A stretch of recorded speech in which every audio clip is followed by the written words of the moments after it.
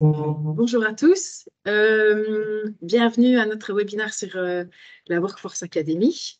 Aujourd'hui, nous allons euh, vous expliquer et vous montrer en quoi consistent nos simulateurs chariot élévateur et Smart Station. eh bien, je commencerai déjà par vous demander si vous pouviez couper vos caméras pour une facilité pour lire en tout cas les slides. je vous informe aussi que ce webinaire sera enregistré euh, il y aura une séance prévue à la fin euh, de ma présentation pour pouvoir poser vos questions, mais vous pouvez déjà euh, les noter dans le chat de cette séance. Voilà. Alors, je commencerai par dire que nous nous trouvons dans une période de changement majeur à travers le monde. La demande de talents qualifiés connaît une forte croissance et cette tendance ne fera qu'augmenter dans les années à venir afin euh, de répondre à cette demande, il est essentiel que nous investissions dans la formation afin de développer les compétences des individus et de les préparer au nouveau monde du travail. À la Workforce Academy, notre objectif est de favoriser un emploi durable et nous, en nous concentrant spécifiquement sur les personnes qui sont éloignées du marché du travail aujourd'hui. Grâce à ces outils, nous mettons à jour les compétences des individus et nous les préparons à relever de nouveaux défis. Ce qui rend cette approche passionnante, c'est que nous intégrons des éléments de jeu pour rendre le processus d'apprentissage plus captivant et motivant. Et donc, cela permet d'attirer de nouveaux talents et d'améliorer l'efficacité, la flexibilité, mais également la qualité de nos formations. Euh, notre programme comprend euh, différents aspects euh, que je vous évoquerai tout à l'heure.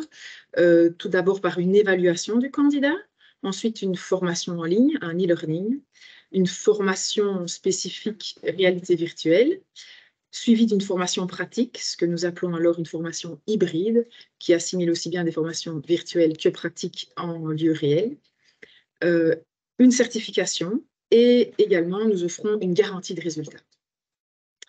Grâce à nos capacités actuelles en Belgique, nous pouvons former jusqu'à 450 conducteurs de chariots élévateurs par an, ainsi qu'un grand nombre d'opérateurs. Le programme va bientôt débuter en Allemagne également, euh, dans le deuxième trimestre. Et nous avons également un projet pilote en Italie. Donc, ce n'est pas uniquement euh, la Workforce Academy d'ADECO Belgique, mais c'est également ouvert à l'international. Euh, pourquoi est-ce que nous avons voulu notre propre académie plutôt que de collaborer avec des centres de formation existants? Qu'est-ce qui nous distingue des méthodes de formation traditionnelles? Euh, pour répondre à toutes ces questions, nous avons d'abord fait une, petite étude, quelques recherches, euh, parce que tout le monde parle de pénurie sur le marché du travail, mais euh, mais de quoi s'agit-il en fait concrètement? Eh bien, une étude réalisée par l'Université de Gand euh, nous démontre qu'en fait, le taux d'emploi en Europe n'est qu'en moyenne que de 70%.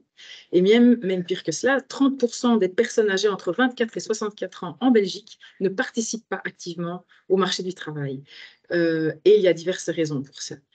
Quelles sont les causes de la pénurie? Euh, Eh bien, on voit déjà qu'il y a une évolution démographique, donc la population vieillit. Par conséquent, nous avons moins, moins de personnes disponibles sur le marché de travail. Ensuite, il y a une perception négative. Euh, les emplois euh, dans le secteur ouvrier sont perçus comme peu rémunérés et peu prestigieux, ce qui décourage ou qui n'intéresse pas les jeunes générations à s'orienter vers ces métiers. Et euh, troisièmement, il y a également un manque de programmes de formation. Donc, les compétences des demandeurs d'emploi ne correspondent pas aux exigences des postes disponibles. Alors, quelles sont les conséquences de ces pénuries? Eh bien, d'abord, il y a un impact économique. Les industries qui dépendent des travailleurs ouvriers aujourd'hui rencontrent des difficultés pour répondre aux demandes de la production. Cela entraîne des retards, des coûts plus élevés et des opportunités commerciales manquées. La pression sur les salaires également. Les employeurs doivent offrir des rémunérations plus élevées pour attirer et fidéliser les talents. Cela peut avoir un impact sur la rentabilité.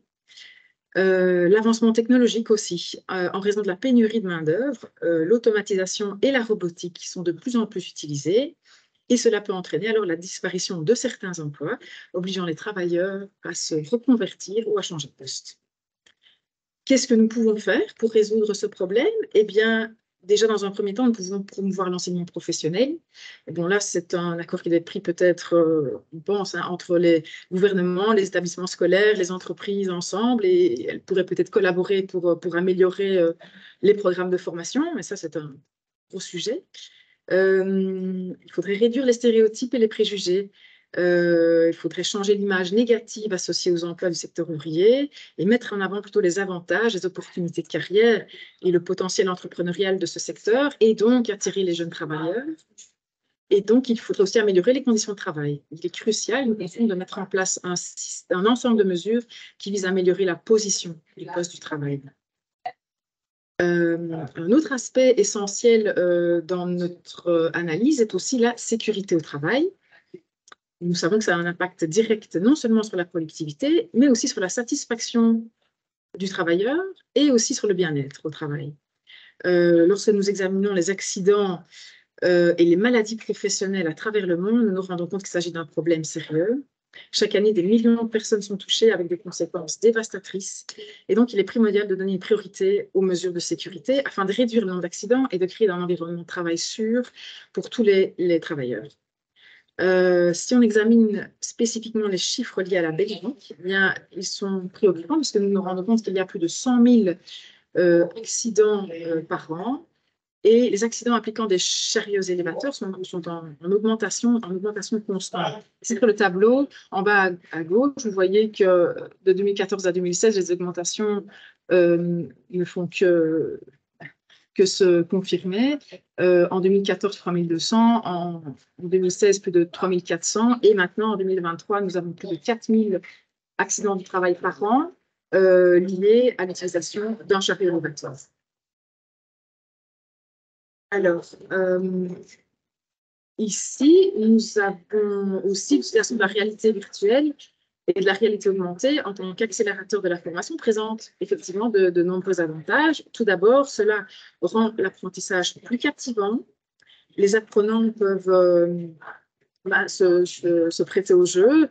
Euh, ils se plongent dans des environnements de formation interactifs et ils s'exercent dans des scénarios virtuels, mais qui sont tout de même réalistes. Cette immersion favorise euh, l'assimilation des connaissances et des compétences. C'est aussi euh, un peu l'ère de la gamification actuellement, et donc l'apprentissage devient un jeu. Un autre avantage, euh, c'est que nous créons un environnement d'apprentissage sécurisé.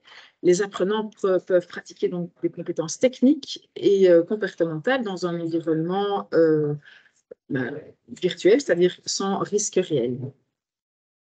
Euh, notre approche euh, d'apprentissage repose également sur euh, ce qu'on appelle le data-driven, c'est-à-dire l'analyse de données. Nous, examinons les objectifs, les besoins et les réalités de l'environnement professionnel afin de guider efficacement les apprenants et apporter des ajustements nécessaires selon les besoins. Nous accordons également une attention particulière aux attentes des entreprises et aux résultats d'apprentissage, ce qui nous permet de, favoriser le changement de comportement et l'amélioration des performances.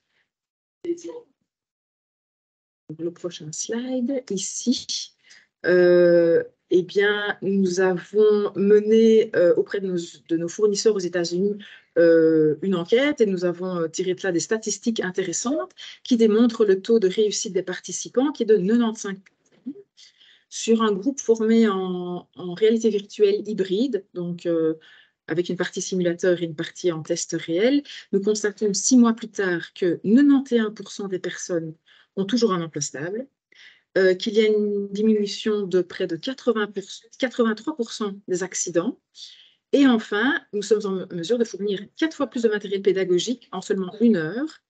Et donc, euh, les apprenants, les, formés, euh, assimilent les connaissances jusqu'à quatre fois plus rapidement qu'une formation classique. nous remarquons donc que les participants acquièrent la confiance nécessaire pour s'engager dans leur nouveau travail avec des compétences techniques adéquates. Euh, nous guidons à la fois les candidats et les entreprises afin de nous assurer que le poste convient parfaitement à, ce que, à, la réalité, euh, à votre réalité. Euh, nous fournissons aux deux parties, aussi bien donc à l'entreprise et aux candidats, un retour d'expérience sur des sujets tels que la maturité, les incertitudes que le candidat pourra avoir, les points d'attention, et tout ça pour accompagner au mieux les personnes formées dans leur nouvelle carrière. nous avons deux simulateurs différents. Comme je le disais au tout début, nous avons d'abord la Forklift Academy pour la partie chariot élévateur, donc chariot élévateur traditionnel, rétractable et l'order picker. donc, juste après cette présentation, vous allez voir avec mes collègues Michel et Peter une, présentation en live euh, de, ce que, de ce que le système peut faire. Et alors, en deuxième partie, nous avons la Smart Station, qui est plutôt un système pour former des opérateurs sur des postes de travail lorsqu'ils doivent avoir des, des gestes répétés, répétés euh, continuellement. Alors, la Forklift Academy, qu'est-ce que c'est? Eh bien, nous, on se base sur six étapes. Euh, le candidat, quand euh, vous avez décidé d'avoir une formation en réalité virtuelle avec euh, notre Workforce Academy, comment ça se passe? Tout d'abord, les candidats sélectionnés passent un assessment, c'est-à-dire un test pour voir s'ils ont la bonne attitude pour pouvoir passer la formation. Ensuite, nous avons une partie théorique à leur proposer, donc ce sont des e-learning de 2 fois 45 minutes et 1 fois 15 minutes. Donc, soit vous avez l'espace ou l'accueil nécessaire dans votre entreprise pour qu'ils puissent le faire pendant leurs heures de travail, soit chez eux. Et donc, comme c'est un e-learning, ils peuvent le suivre autant de fois qu'ils le veulent, jusqu'à passer finalement avec succès euh, l'examen théorique, euh, puisque nous nous concentrons sur les personnes, euh, parce que nous voulons qu'il y ait un maximum de réussite à nos examens. Ensuite, la partie learn, donc nous venons chez vous avec nos simulateurs pour que les personnes, pour les candidats, les ouvriers puissent avoir leur formation au sein de l'entreprise chez vous. Donc ça, c'est la partie virtuelle. Une fois que la partie virtuelle a été euh, réalisée avec succès, ils passent au niveau pratique où ils utilisent vos chariots élévateurs dans votre entreprise et dans votre lieu de travail. Une fois que toutes ces étapes-là ont été passées avec succès, ils reçoivent un brevet. Donc, c'est une formation brevetante qui est reconnue. Euh, et ensuite, ce que nous proposons, c'est qu'après trois mois, nous venons faire un suivi, une évaluation avec vous et avec le candidat pour voir si finalement les compétences sont bien, sont bien là euh, de manière objective, on va regarder s'il euh, n'y a pas des manquements, si tout se passe bien. Et si nous, détectons qu'il y a euh, un souci, quelque chose qui doit être amélioré, nous revenons gratuitement chez vous pour reformer le candidat sur les points spécifiques, sur les points d'attention qu'il aura encore pour qu'il soit finalement au top dans sa formation et qu'il soit à 100% opérationnel. La partie Smart Station, nous avons également six étapes euh, pour la réussite. Donc, l'étape 1, 2, 3, c'est plutôt une étape de consultance parce que la Smart Station, c'est plutôt euh, un outil qu'on va utiliser sur mesure par rapport à votre réalité. D'abord, on, doit mettre, sur carte, tiens, ce, dont vous avez besoin, ce qui est important pour vous. On doit programmer le système, euh, vérifier le design, voir tout avec vous. Euh, une fois que tout le programme a été conçu euh, et que tout est en ordre, alors on peut commencer finalement la partie formation avec les candidats. Et là, on fait de la même manière, c'est-à-dire qu'on vient chez vous avec le système, on sélectionne les candidats qui passent un assessment pour vérifier s'ils ont la bonne attitude. Ensuite, ils ont toute la partie apprentissage et exercice en virtuel avant de pouvoir être opérationnel sur votre lieu de production. Et de la même manière que pour le chariot élévateur, trois mois plus tard, nous revenons faire une évaluation objective pour voir si les compétences euh, sont acquises à 100%. Et si ça n'était pas le cas, nous revenons gratuitement pour former les candidats. Voilà, donc ici, c'était euh, la fin de la présentation. Euh, nous allons passer plutôt à la partie live, voilà, pratique. Euh, et alors là, je vais euh, vous la présenter avec mon collègue euh, Michel Gelders, qui est plutôt le spécialiste du système.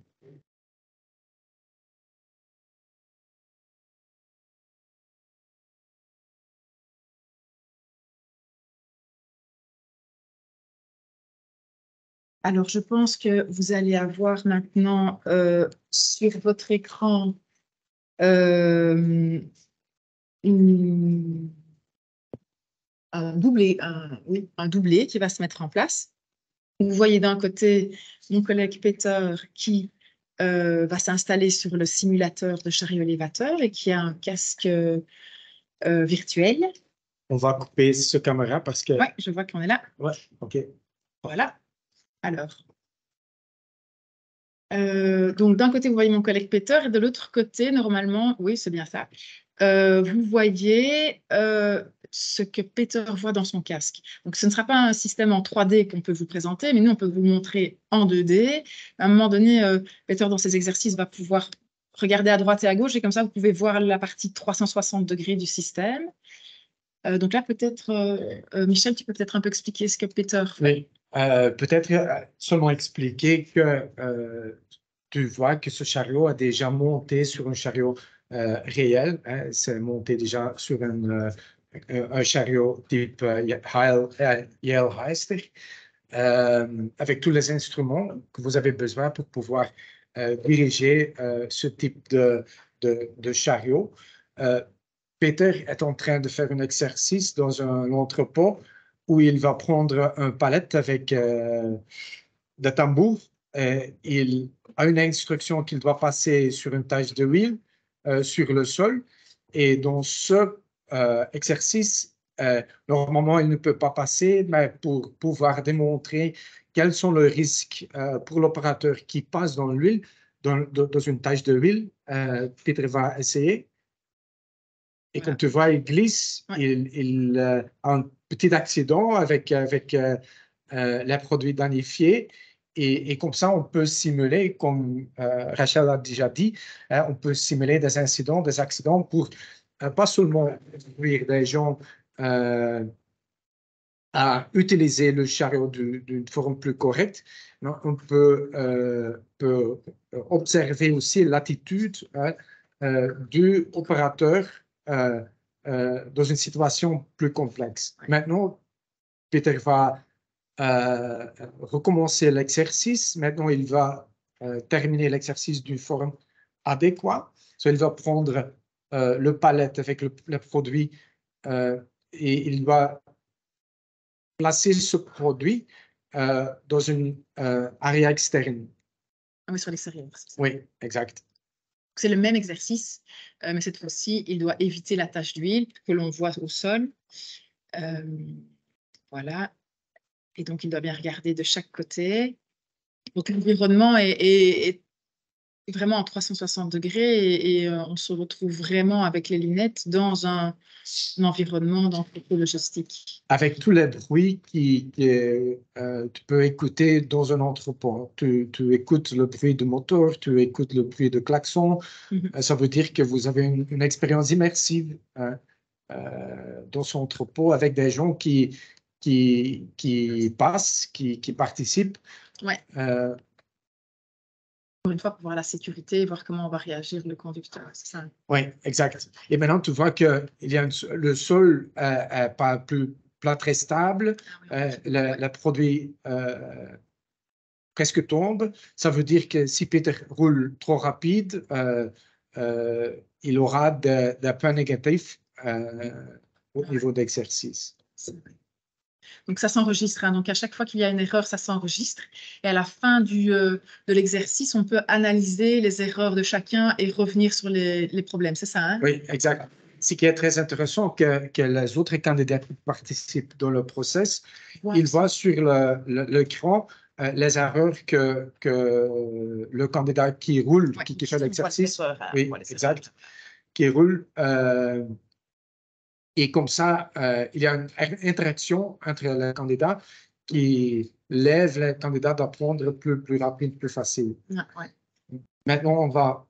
Euh, oui, ce que je voulais rajouter aussi, c'est qu'on peut, c'est intéressant, c'est qu'on peut ajouter, euh, par rapport à ce qui est cassé ou, ou, abîmé ou endommagé lors d'un exercice, on peut ajouter le coût que ça a pour l'entreprise et pour, pour que les candidats puissent se rendre compte que utiliser un élévateur, quand on casse du matériel, c'est pas gratuit. Oui, correct. Tout à fait correct. Et maintenant, on va passer Maintenant, on va passer pour l'exercice du, du, Smart Station. Oui, voilà. Donc ça, c'est le deuxième... Euh, caméra. C'est le deuxième simulateur qui est le simulateur euh, Smart Station. On va vous présenter euh, pour que vous puissiez vous rendre compte en quoi cela consiste.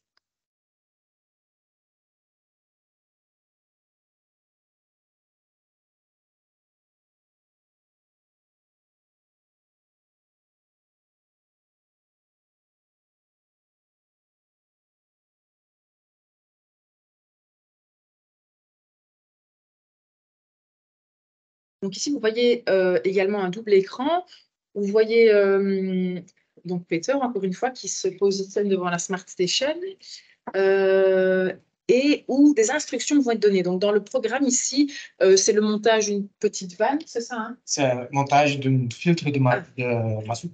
Filtre de mazout, voilà. Filtre de mazout. Filtre de mazout. Et donc, ici, c'est un opérateur qui va devoir faire euh, régulièrement les mêmes gestes. Et donc, pour l'apprentissage de ce montage, euh, comment fonctionne le système? Eh bien, il y a des codes couleurs. Donc, euh, l'opérateur doit aller chercher des objets euh, dans, euh, dans, des, ray- dans un rayon.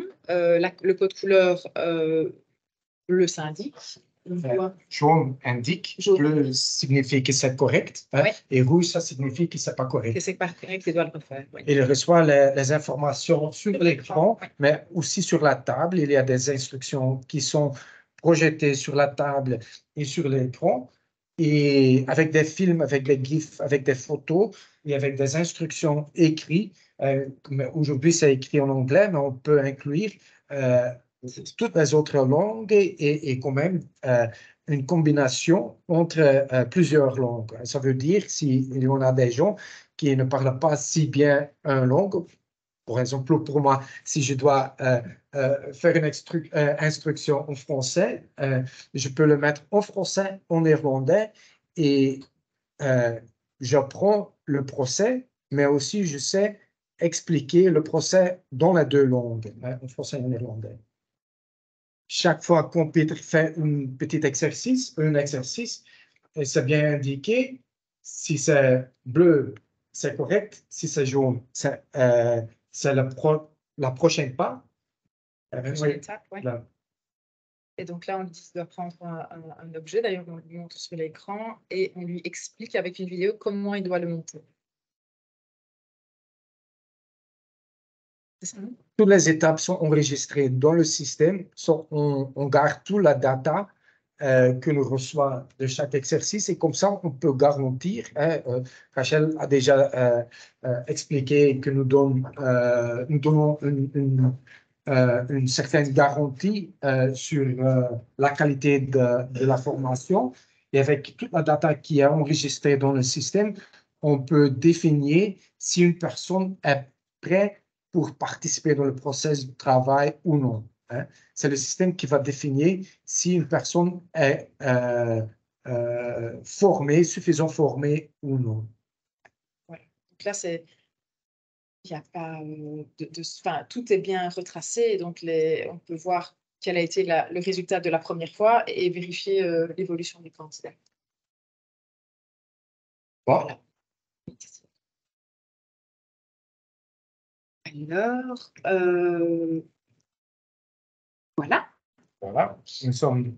Nous sommes ici euh, Ouais, dans exact. le centre de formation. Je ne sais pas euh, si vous avez des questions euh, et si on a déjà reçu des questions. je vais regarder Sur le chat. sur le chat. Non. mais si vous en avez, n'hésitez pas à en poser. C'est le moment. C'est l'instant. Arnaud,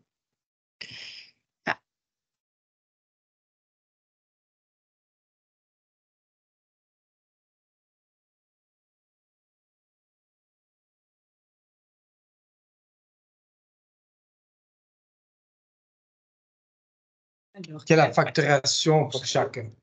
OK, bah, c'est une, une- une- une- question une très bonne question.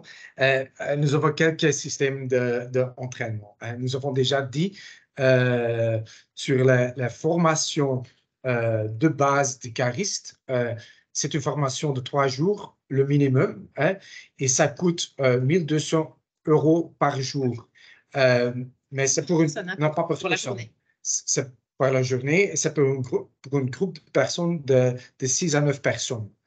Euh, si on parle sur euh, le Smart Station, euh, le coût est un petit peu différent. Pour les premières trois étapes, on cherche 1000 euros par jour pour le développement de, de- et l'analyse de procédures et pour la programmation du système. Et ça coûte 1000 euros pour jour d'entraînement et ça dépend euh, de, de, combien de personnes on peut entraîner dans un jour. Hein. Euh, ça dépend de la difficulté de, du, process. Du process ça? Oui, Ça, c'est vraiment à la carte et ça, on ne sait pas le déterminer à la Exact. Ça doit être étudié par, euh, par entreprise. De toute façon, ça en voit avec voilà. Oui, exact. Même pour la, pour la l'analyse et la programmation du système, euh, ça dépend de la complexité de, le, post-travail et la disponibilité des informations chez, chez vous. C'est ça, parce que c'est du, de la programmation, tout ça. Ouais, et donc, pour faire un petit résumé, donc pour la partie cariste, euh, nous avons euh, la possibilité de, former entre 6 et 9 candidats par jour. Nous venons sur votre lieu de travail avec notre simulateur. Euh, le coût pour une journée, c'est 1200 euros, que ce soit 6 ou 9, euh, avec la partie l'e-learning, la partie théorique, la partie pratique, hybride aussi dans votre entreprise, la certification, la, certification et la, garantie. On fait des, cours de rafraîchissement aussi. Hein. Ça, prend un demi-jour, 4 heures pour une groupe de 4 personnes et ça coûte 600 euros si vous avez besoin ou s'il y a une certaine nécessité de passer un cours théorique euh, pendant le cours euh, euh, de réfraîchissement, on, peut le faire aussi et ça prend une autre 4, heures ou le temps que nous avons besoin pour passer les cours de e-learning. Ouais. ouais. Ça a répondu à votre question pense qu'on a répondu aux deux questions en même temps. Oui, exact. Et donc, la, durée moyenne de formation, c'est trois jours. Donc, pour quelqu'un qui euh, ne s'y connaît pas, en trois jours, il a, il, a, il a passé toutes les étapes. D'autres questions?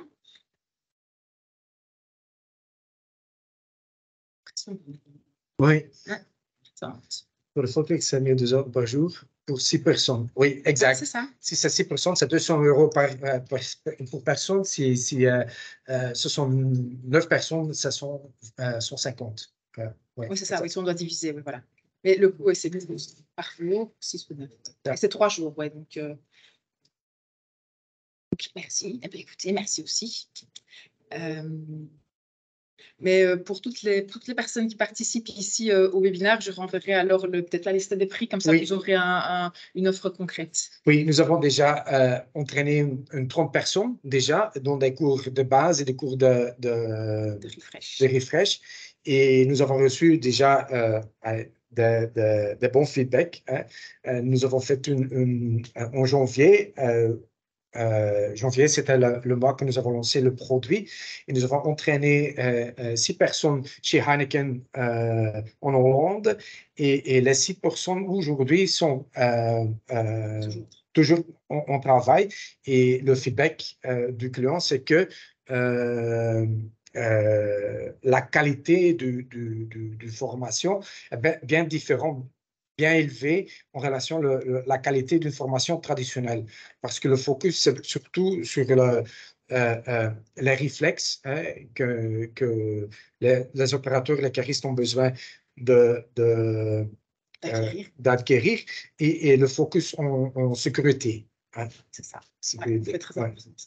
Et ce qu'on remarque aussi, ce que les gens nous disent, c'est la nouveauté, l'intérêt, et donc pour rendre un peu les formations allez, plus attractif que ce qu'ils ont l'habitude voilà, que ce qu'ils ont l'habitude de suivre. Donc, aller en formation, c'est moins euh, ah ouais, je veux aller en formation, tandis que là, on vient finalement sur le lieu du travail. C'est une journée classique, mais un peu différente et ça donne un peu plus de. Surtout avec les cours de réfraîchissement, hein, on voit que, que les candidats, ce sont des gens qui sont bien euh, expérimentés. Euh, et, si aujourd'hui ils font des, cours de réfraîchissement, c'est quelque chose qu'ils font chaque jour, tous les jours. Il n'y a pas un défi exceptionnel. Chez nous, euh, c'est différent parce que c'est en VR, mais en plus, euh, ils travaillent avec, avec des potentiels risques et accidents et incidents. Et c'est quelque chose qu'ils ne peuvent pas tester dans la, la, vie réelle. Et chez nous, ils peuvent tester. C'est vrai. Euh, on a également l'entreprise, ça peut-être on peut le dire, l'entreprise de Foll à Varem aussi, qui vient de nous faire une commande. Et euh, je sais qu'en Flandre, il a peut-être déjà été présenté avant la Wallonie. Je sais que tu as déjà des contacts aussi. Mais bon, voilà, on, comme c'est un, lancement de projet, on n'a pas encore une liste énorme de, de clients parce qu'on propose à tout le monde en même temps. Donc, on est en pleine. Euh, vous êtes dans les premiers à qui nous parlons du projet et à qui nous, nous proposons le système. Euh, ça dépend, oui. Euh, un simulateur. Si on vient avec un simulateur, ça dépend de la nécessité. On peut, peut arriver avec les deux. Hein. Euh, on, arrive avec une petite camionnette et, avec les, des simulateurs dedans. ça dépend du cours. si on, il y en a des clients qui, qui, qui ont les deux type de, de... Tu veux dire euh, Smart Station et Forklift et, Non, les deux simulateurs. Les, les, deux simulateurs euh, de chariot élévateur.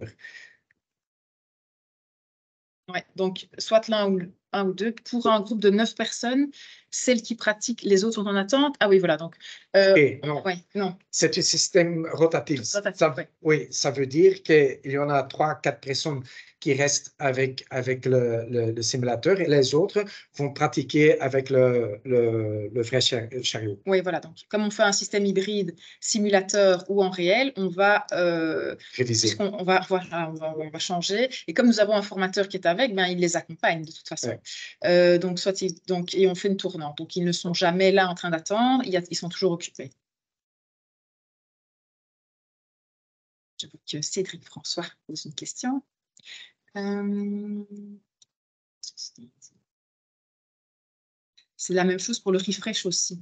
Euh, tandis qu'il y a une partie euh, quand même théorique pour breveter les personnes, ils ont un questionnaire de 20 questions à répondre. Donc, ceux qui font le questionnaire bah, sont sur le questionnaire sur, sur un ordinateur et les autres, alors, puisqu'ils sont en un groupe de 4, et les autres sont sur le simulateur. Et donc, ils tournent comme ça. Donc, on fait toujours un système de tournante. Est-il possible de tester le simulateur chariot élévateur avant d'envoyer une personne en formation? Oui, vous êtes euh, toujours bienvenue chez, chez, chez, nous, ici à Grand-Bellegarde. Euh, mais si, si cette rôle-là est aussi trop compliqué, on peut passer avec un des simulateurs. Ça dépend du type de, de formation qu'on on doit donner.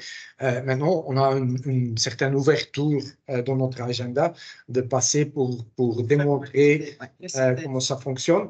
Mm-hmm. Euh, on va organiser aussi des jours, de, démonstration. dans, dans, plusieurs régions. On a fait euh, un jour de démonstration à Barème il y a deux semaines ou trois semaines. Et, et, on est en train de planifier une. Euh, pour, pour la région de oui. plutôt région de Moucron. Donc, pour le nous, on est en train de voir pour en mettre une en place. Oui, exact. si ce n'est pas le cas, effectivement, et si vous êtes fortement intéressé, on se déplace. Je pense que oui, les camionnettes sont mobiles. Oui, ce n'est pas, pas, de problème. Et s'il y a des gens qui, qui, qui vont participer à la, la bourse de, de, Vivatech en Paris euh, la semaine prochaine, euh, vous serez présent? Nous sommes présents euh, sur le stand avec vous. Groupe. Vivatech. Vivatech. Vivatech à Paris. C'est quand ça? Euh, Le 14, 15, 16, 17 de juin. Juin. C'est la semaine prochaine, de mercredi jusqu'à samedi. C'est toujours la même chose, il n'y avait pas d'autres questions. Ok, parfait. Parfait. Donc, s'il n'y a pas d'autres questions, moi, je me propose de vous envoyer le... Ah oui, je vais laisser taper alors.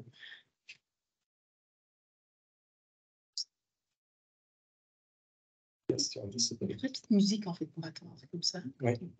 Musique d'attente, ce serait plus sympa. Alors, est-il. Non, ça c'est le. Euh, le refresh est-il possible pour des candidats expérimentés C'est pour des candidats expérimentés. C'est pour des candidats expérimentés. Oui, exact. C'est pour des candidats expérimentés. Donc, le refresh, c'est une demi-journée. C'est que pour des candidats expérimentés qui doivent repasser leur brevet. Euh, 4 heures. Pour que ça prend 4 heures. Donc, c'est une matinée ou une après-midi.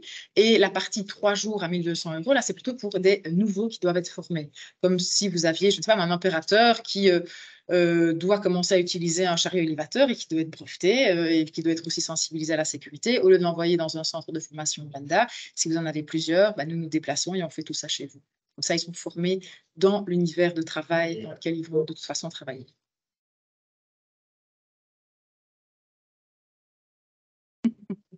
Merci Maud pour l'information. Euh, quatre personnes. Cédric Cédric, c'est 600 euros pour quatre personnes. Donc à chaque fois, les prix, c'est par, euh, par journée ou par demi-journée. Euh, c'est trois jours. Non, le refresh à demi-jour, quatre heures pour quatre personnes. Le maximum, c'est quatre personnes. Quatre personnes, le refresh une demi-journée et c'est 600 euros pour la demi-journée. Donc, c'est-à-dire 150 euros par personne. Et pour des formations pour des personnes qui ont besoin d'un brevet qui n'en ont jamais eu, trois jours, 1200 euros par jour euh, pour un groupe de 6 à 9.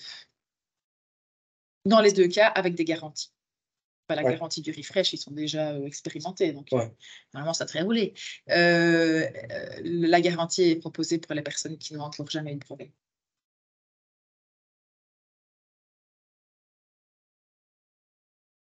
on a répondu. Dans oui, la situation qu'il ne peut jamais porter. Voilà, c'est ça, oui. Donc, euh, huile, piéton, accident, c'est ça. C'est ça, Michael, euh, effectivement. Euh, le refresh, ils ne vont pas faire une, version hybride, donc ils ne vont pas non, seulement avec... Ils vont pas sur le terrain, ils ne vont faire que du euh, virtuel, puisque le terrain chez vous, ils le connaissent, mais ils ne vont faire que du virtuel. Et ça, on va regarder aussi avec vous, tiens, euh, sur quoi est-ce qu'on doit analyser les choses, sur quoi est-ce qu'on doit insister, qu'est-ce qu'on doit inciter, quels sont les points d'attention, quel est votre environnement de travail, est-ce qu'il y a des, des, sols un peu qui sont moins stables, est-ce qu'on doit le tester, est-ce qu'il y a parfois, voilà, on a vu une tache d'huile, est-ce que ça peut arriver chez vous ou pas? Et donc, on discute aussi avec le, conseiller euh, sécurité chez vous, avec le responsable euh, production. Enfin, voilà, donc ça se fait aussi. Il y a quand même un, premier contact avant qu'on vienne. On ne vient pas, on ne débarque pas comme ça. Il y a quand même déjà, bah, de toute façon, il y, a, il y, a, une offre de prix, mais il y a aussi une discussion avec vous de savoir, tiens, quel est le but? Pourquoi est-ce que vous souhaitez que l'on vienne? Est-ce qu'il y a des, choses spécifiques que vous attendez euh, et qui sont adaptées sur mesure par rapport à votre réalité d'entreprise? C'est bien C'est bien. C'est parfait. Et donc, comme je l'ai dit, moi, je me propose de vous envoyer le tableau des prix complet, comme ça, vous l'aurez. Euh, et comme ça, vous aurez également nos coordonnées. Si vous avez des questions, pouvoir euh, nous solliciter euh, ah oui, je vois qu'il y a encore une question. va nous solliciter dans un deuxième temps ou plus spécifique par rapport à votre entreprise? Mais écoutez, merci à vous d'avoir participé. Euh, on a pris beaucoup de plaisir à faire ça. C'était une première, un pour moi. Euh, C'était clair. Euh, et donc, Michel est le responsable du projet pour la Belgique. Peter, que vous avez vu sur le chariot élévateur, est notre formateur. Et moi, mon nom, c'est Rachel Breuil. Je suis commerciale pour, la, pour, pour ADECO. Donc, voilà. Parfait. Passez à tous une très bonne journée et, euh, et à bientôt, j'espère. Au revoir. Au revoir.